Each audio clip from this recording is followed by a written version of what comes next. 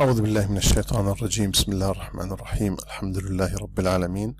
الصلاة والسلام على سيدنا محمد وعلى آله وصحبه ومن تبعه واستنى بهداه إلى يوم الدين وبعد. أه وقفنا إخواني الطلبة عند النقطة الثالثة أه من خصوصيات النظام أه الجنائي في الإسلام.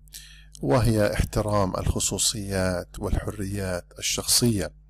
فالإسلام يا كرام لا يتتبع عورات الناس في كل صغيرة وكبيرة ولا يخرق خصوصياتهم وينتهك حقوقهم وحرياتهم ولا يجرمهم لأتفه الأسباب وإنما يجي يشيع جوا من الهدوء في المجتمع. فالإسلام ليس حريصا على إشاعة جو من القلق أو الرعب أو الخوف من القتل أو من تقطيع الأيدي والجلد كما يظن بعض الناس. فهذا التصور مناقض تماما للحقيقة التي هي موجودة في الإسلام ويمكننا أن نوضح ذلك بمجموعة من الأمثلة. اولا الحث على الستر حيث حث الإسلام كل من ارتكب جريمة ووقع في إثم أن يستر على نفسه. فهذا هو مبدأ أصيل من مبادئ الإسلام في باب الذنوب والمعاصي وهو الستر. فالإسلام يحث الإنسان على أن يستر على نفسه ولا يفضح نفسه ولا يجاهر بالمعصية وحسابه على الله تعالى. وفي ذلك دليل كبير على أن الإسلام لا يخترق خصوصيات الناس في المجتمع. قال عليه الصلاة والسلام مؤكدا هذا المعنى الذي نتحدث عنه المسلم أخو المسلم لا يظلمه ولا يسلمه ومن كان في حاجة أخيه ومن كان في حاجة أخيه كان الله في حاجته. ومن فرج عن مسلم كربة فرج الله عنه كربة من كربات يوم القيامة. ومن ستر مسلما هنا موضع الشاهد الذي نريده. ومن ستر مسلما ستره الله يوم القيامة. فالأفضل أن يستر المسلمون على بعضهم لا أن يفضحوا بعضهم ويتتبعوا عورات بعضهم بعضا.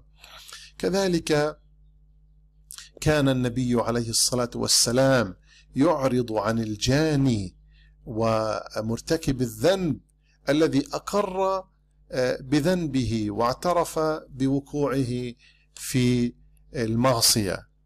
ويلمح وكأن النبي صلى الله عليه وسلم يلمح لهذا الجاني أن يتراجع عن إقراره.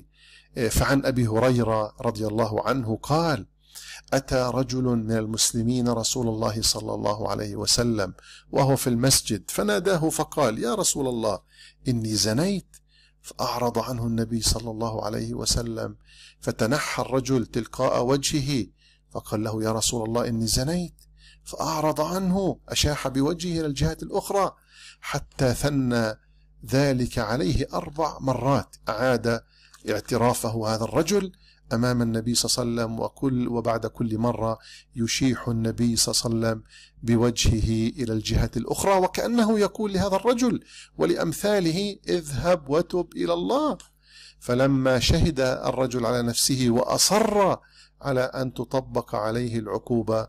دعاه النبي صلى الله عليه وسلم فقال أبك جنون؟ قال لا. يتحقق من وقوعه فعلا في الجريمة.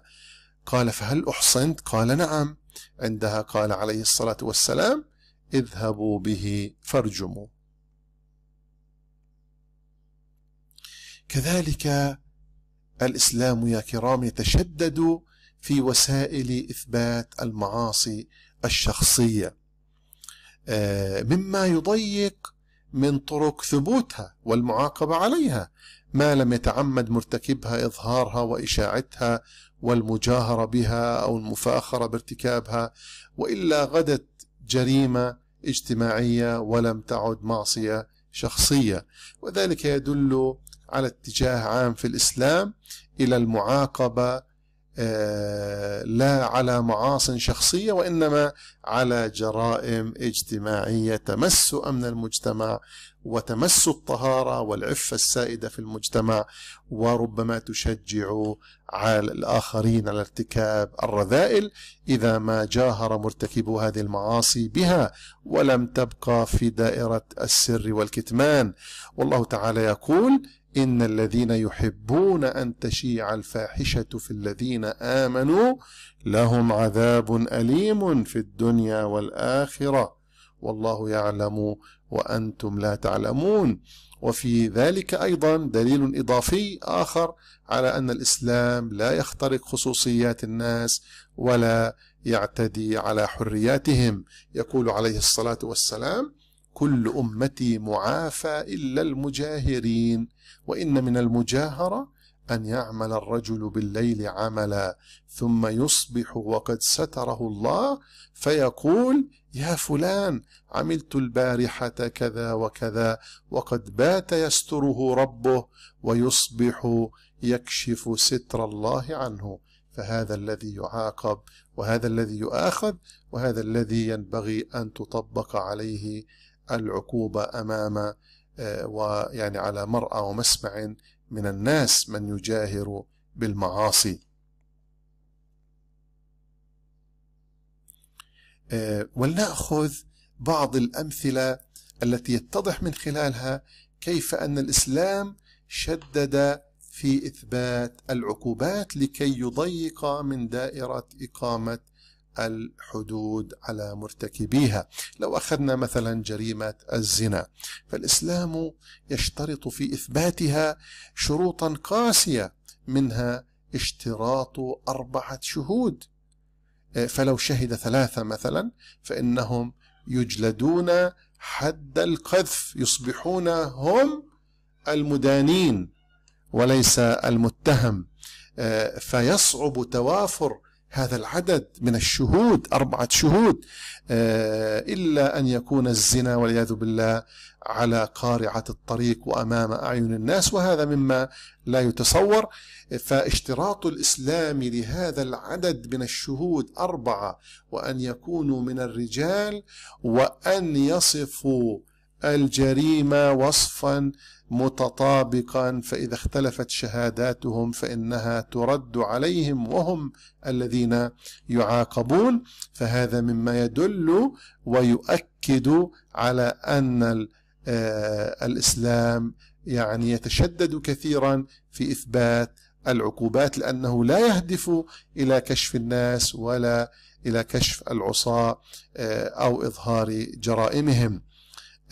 فالعقوبة لم تكن على الفعل ذاتها بقدر ما هي على إشاعتها في الناس ولم تكن على معصية شخصية بقدر ما هي على جريمة اجتماعية تهدد طهارة المجتمع كله إذا لم تقابل بالعقوبة العلنية من الدولة. وفي تقرير الإسلام أيضا مبدأ إسقاط العقوبات بالشبهات آه، كما سبق ووضحناه دليل آخر على أن الإسلام لا يتصيد الناس آه، لأتفه الأسباب ولا يتعطش إلى إقامة العقوبات عليهم وإلى سفك دمائهم وجلد ظهورهم وتقطيع أيديهم وإنما الإسلام يتشوق إلى إسقاط العقوبة بأضعف الاحتمالات. وآخر دعوانا أن الحمد لله رب العالمين. والسلام عليكم ورحمة الله تعالى وبركاته.